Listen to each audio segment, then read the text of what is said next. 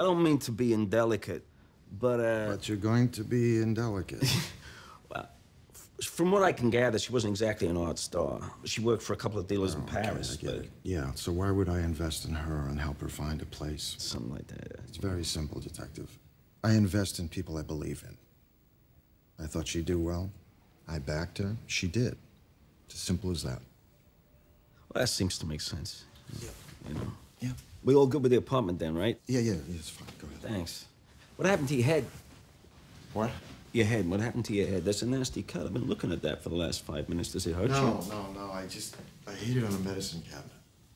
Last night? This morning. Hate when that happens. Me too. Well, thanks for the chat. No problem.